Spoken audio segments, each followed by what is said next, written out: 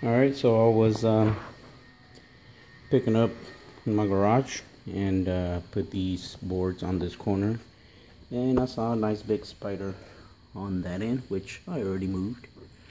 And it turned out it was because it's dead now a black widow.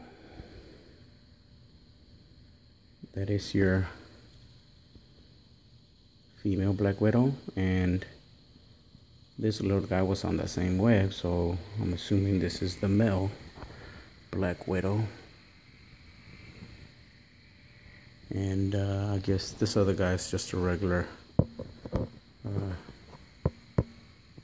spider uh, wolf spider I guess. And uh, yeah well glad I got rid of these from my garage because my kids play here. Alright peace out